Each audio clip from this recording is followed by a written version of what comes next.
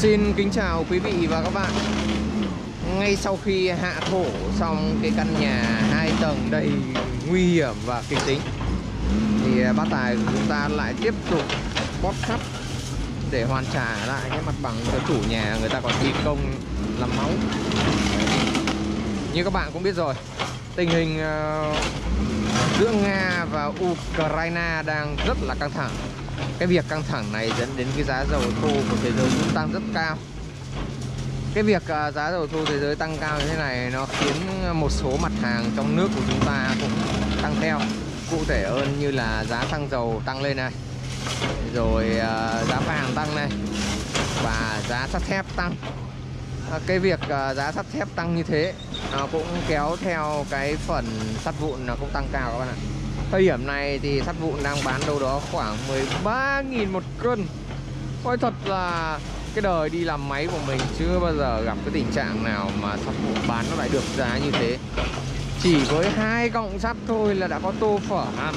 Và chỉ với ba cọng sắt thôi là mình đổ xăng đi cả tuần được rồi. Đấy.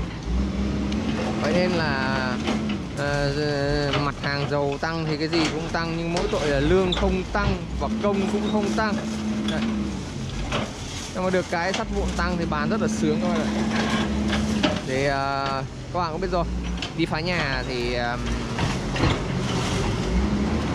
chủ yếu là mình kiếm tiền từ cái phần sắt vụn thôi.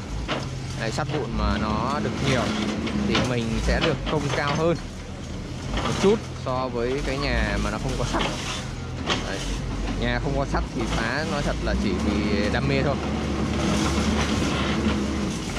đi phá nhà thì uh, mình sẽ sử dụng hai loại. Đó là loại búa và một loại kim. Đây, con này thì uh, nó có một cái kim búa nằm ở đây nữa cơ. Ờ, cái việc sử dụng búa ấy thì phá xuống thì nó sẽ thành những cái mạng to. Còn phá kim thì nó sẽ vụn được hơn. Mà đặc biệt ấy trong cái việc là phá mà để lấy sắt như thế này ấy, thì chỉ sử dụng kim thôi các bạn ạ búa thì vào đây thì những cái tảng bê tông nho nhỏ như thế này thì không bao giờ có thể là nhá nhá được.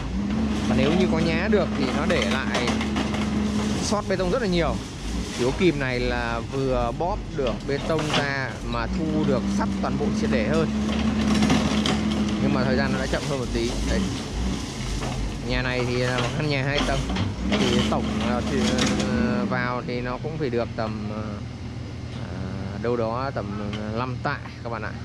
Với 5 tạ bây giờ thì có 5 củ buổi sáng nhặt nhẹ nhàng yên tiền sắt không 5 củ cộng với tiền hồ gạch này mà bây giờ mà bán đi ờ, săn lấp vào ao vào chuông.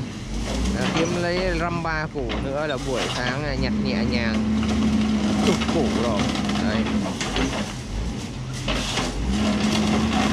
Rồi kìm các bạn thấy có quả kìm xịn không? bóp ngọt hơn mía luôn.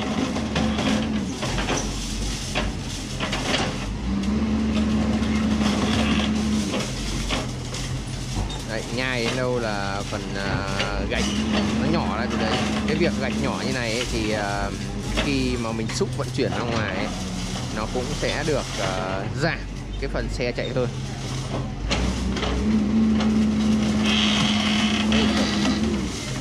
Làm đến đâu rũ sạch đấy. Búa thì đảm bảo các bạn ạ gặp quả này. Chết đói.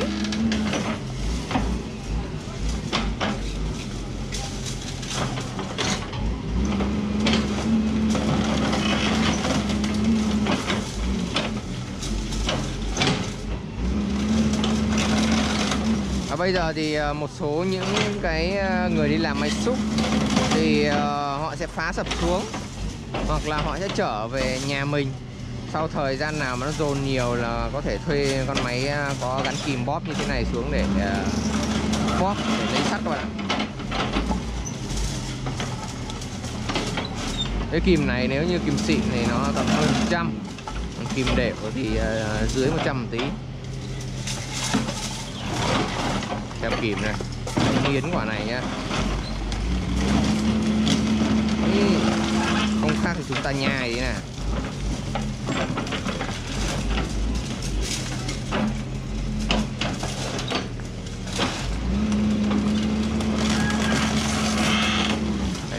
Xong rồi, phần này là phần thu sắt. Có hai à, loại thu sắt. Ví dụ như là à, người ta thuê máy đến, thì à, có thể là bóp thuê theo giờ, hoặc là bóp cho sắt. Còn nếu như máy của mình mà nhận, phá, thì là mình sẽ lấy cả luôn.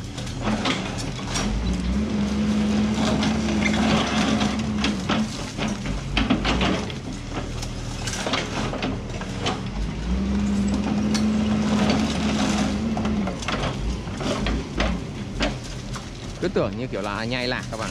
Bọt gọn này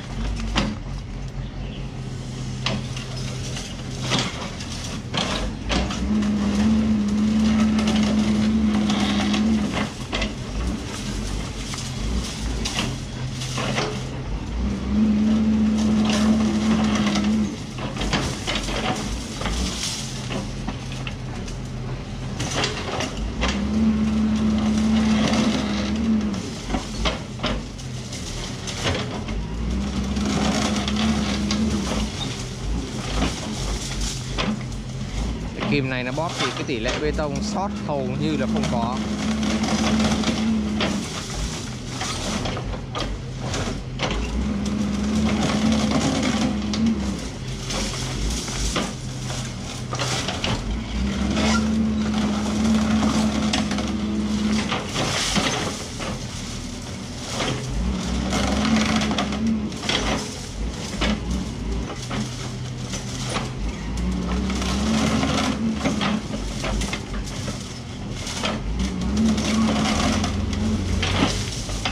Sắt ra sắt mà bê tông ra bê tông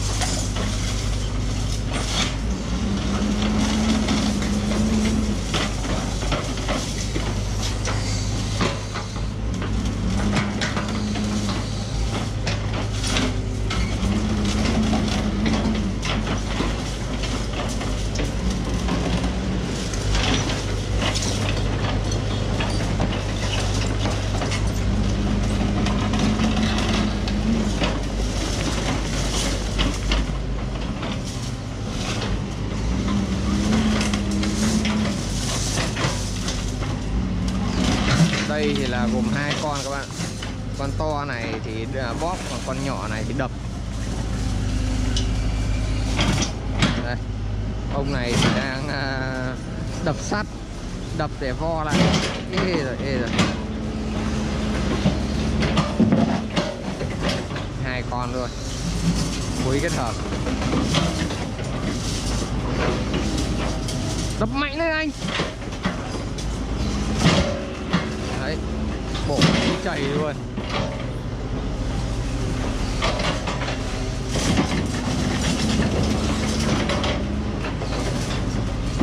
Con là bóp ra thành phẩm. Còn con này đã luôn, dã và vo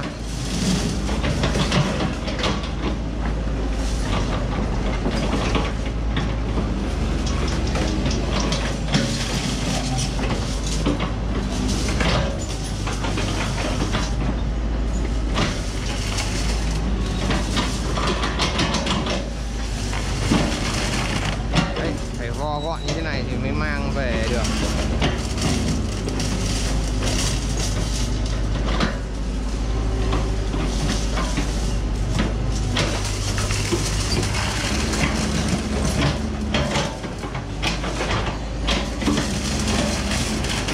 có, có tiền rồi.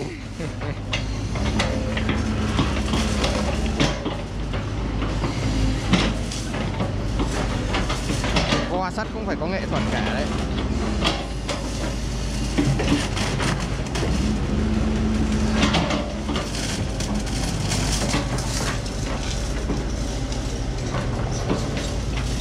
Đấy. Hoa sắt kiểu ờ, kìm này mới chất lượng hơn các bạn này cuộn sắt lại.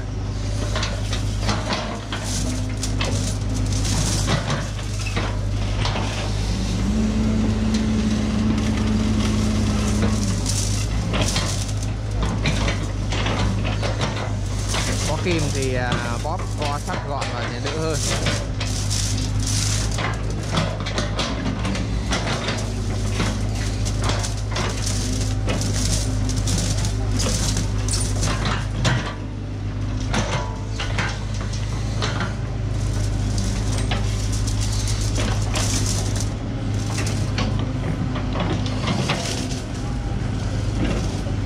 Đấy, cục này à, phải tầm à, tạ đấy các bạn ạ trông vậy thôi.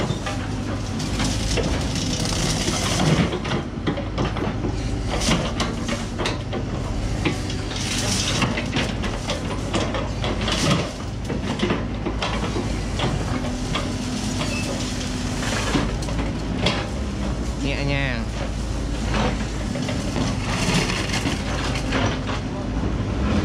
Đấy, cho lên đường hoặc là cho lên rang sau cho lên bờ để đi cân luôn.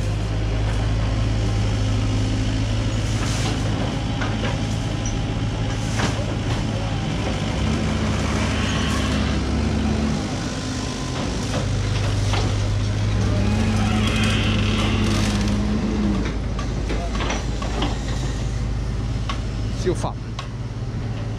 Đấy thế là thành hai cục sắt to.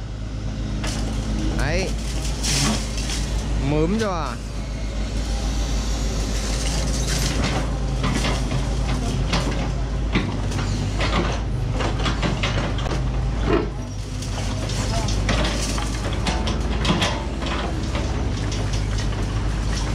ở nhà này dự tính đâu đó khoảng 4 cục như thế này thì là cũng có một à, số sắt à, ờ, khá khá lớn rồi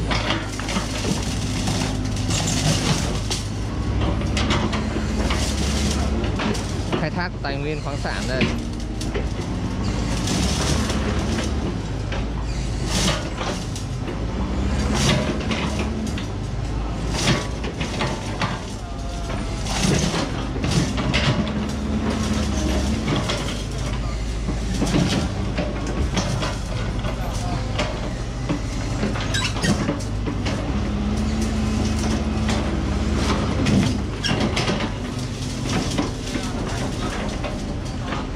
Quá đã.